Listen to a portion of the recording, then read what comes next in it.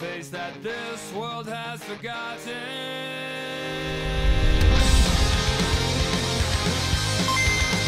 Before going into this video, there will be spoilers. Mind you, no of these spoilers will contain any of the new Pokemons, only the old Pokemons we know as new moveset and buffs to stat that they have got for Core Generation 7.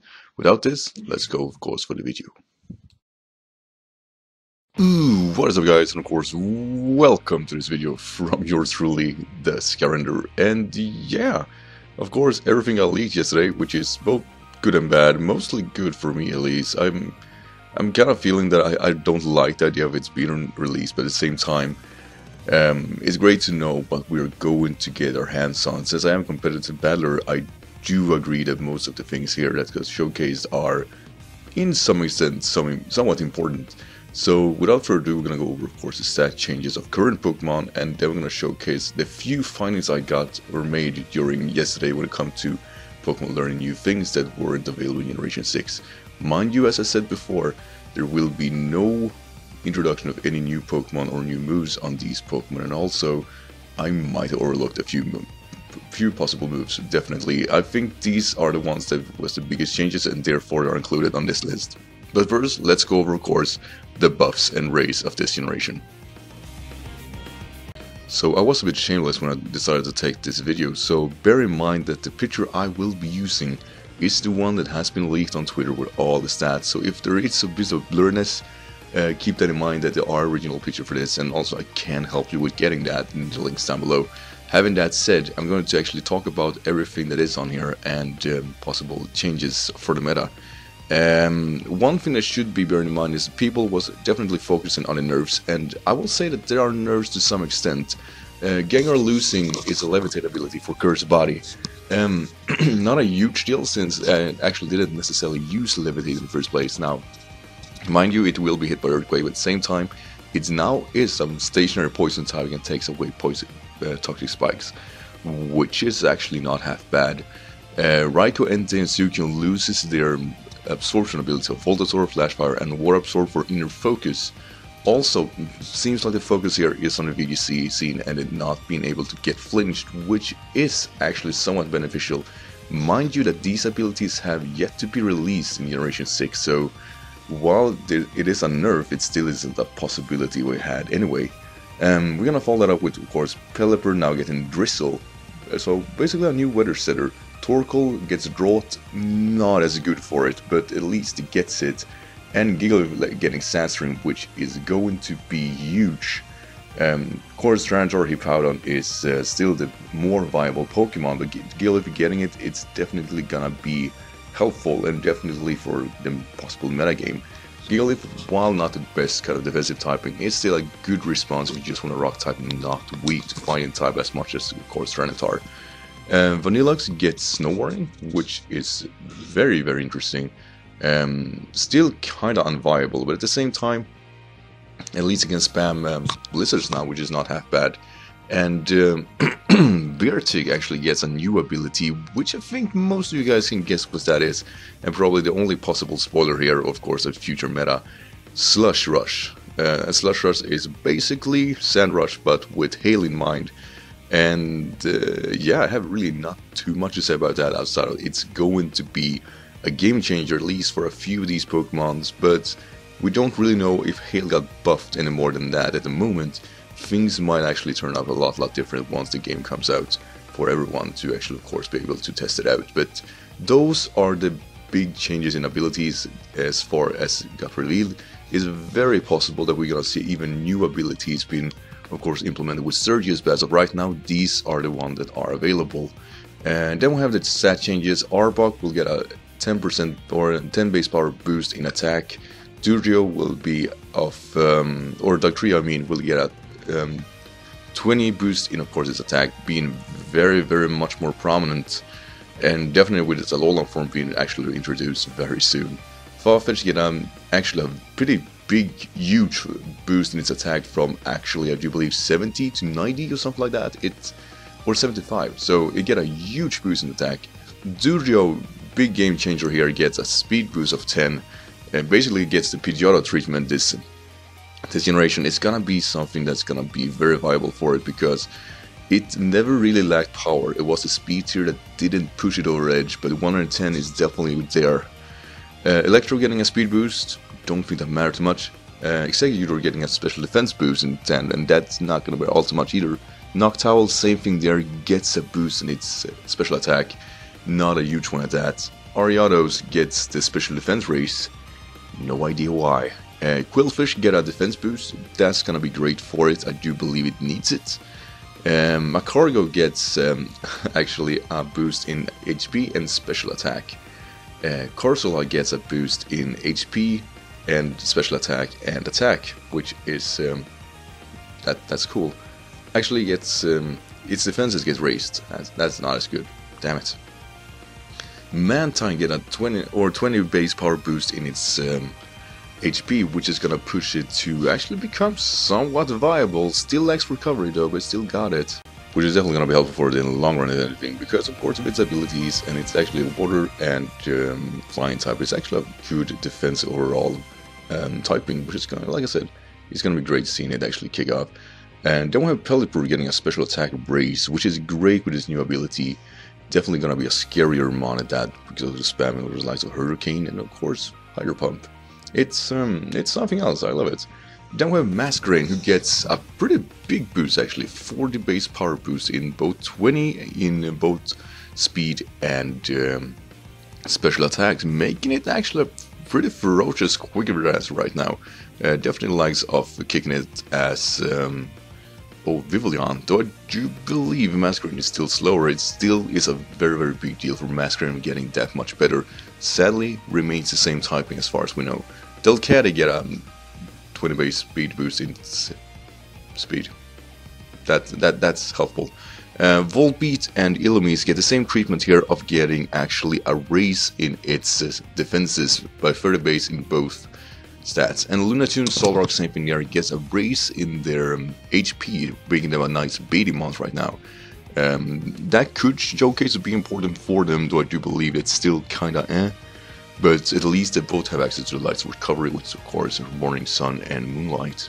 Uh, Chimecho gets uh, overall a pretty huge raise here, of course, together with its cosmic power from this generation. It's going to be somewhat helpful. Uh, 75 raises, and of course, um, or 75, 10 base of, of each Pokemon, basically, I'm trying to say. Uh, get a 10 boost in its HP. Crustle get a 10 boost in its attack.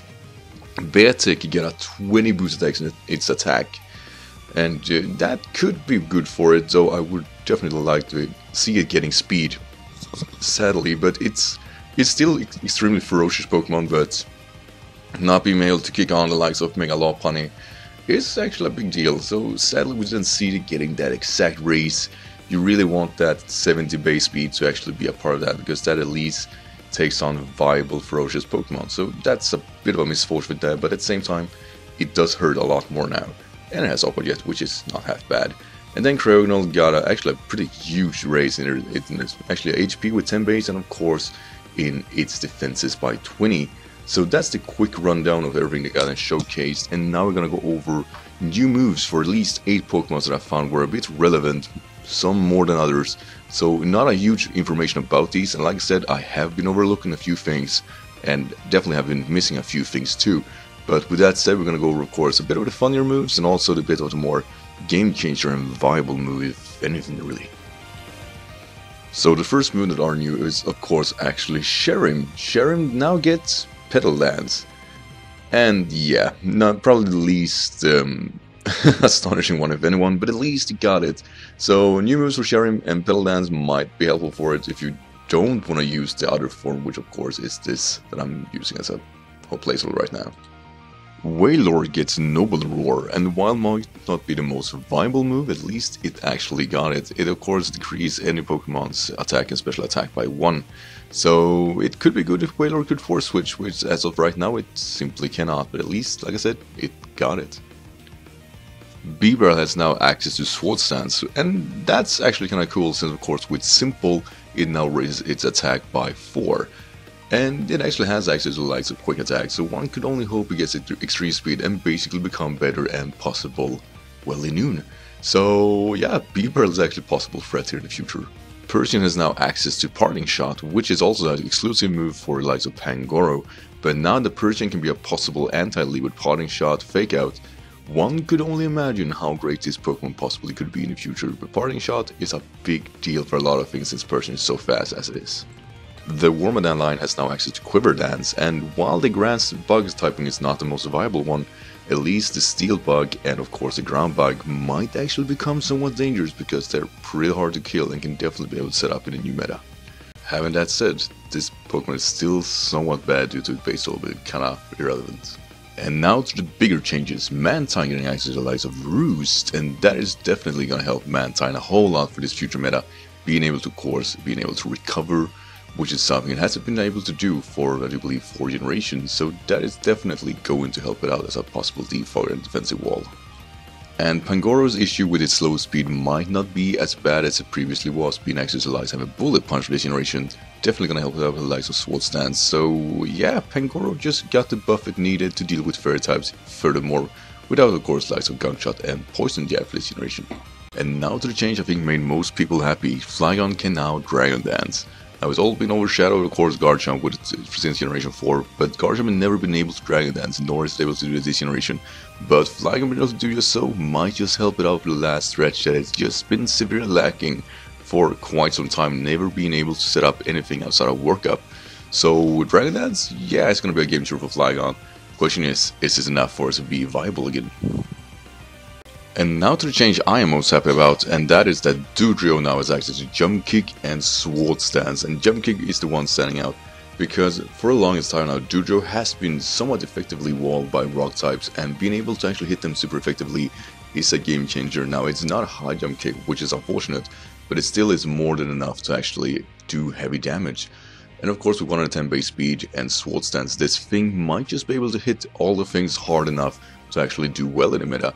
Now, I won't say no, it's a OU Pokemon because it's probably far from it. And as we know, as of yesterday, really, we don't really know how the future meta is gonna look. But knowing that it's now able to defend itself much, much more effectively is a game changer for us, and definitely game changer enough to avoid NU here. I do believe Dodrio just might got a ticket to become one of the more viable flying types in this generation, if anything. And with that said, we're of course gonna go over a bit of the ability nerfs. There aren't really a whole lot that are worth mentioning before I actually wrap up this video, because as of right now, everything has, like I said, not really been revealed or sorted out, at least in a way that's easy to find out.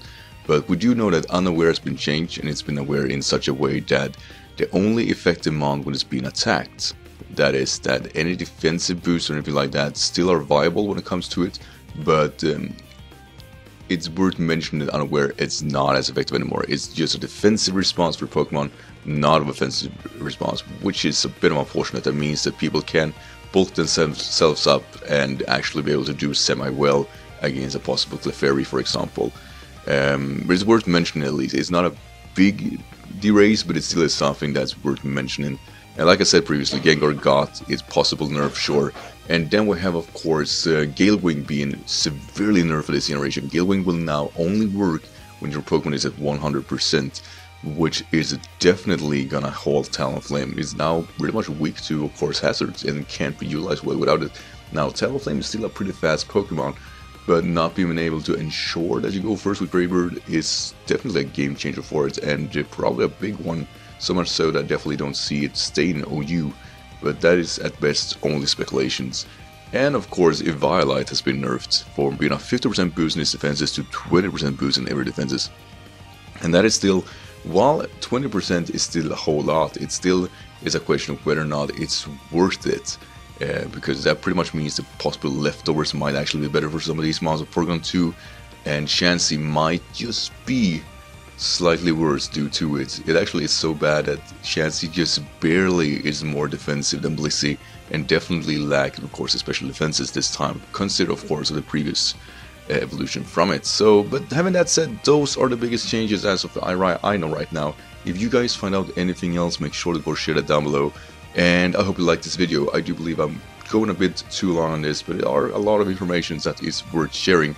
So thank you so much, of course, for watching, everyone, and uh, I see you with more updates when, of course, they are available when the game comes out. So no more of these kind of things till the game is out, I promise. So thank you so much for watching, guys, and I see you in the next video. Until then, take care.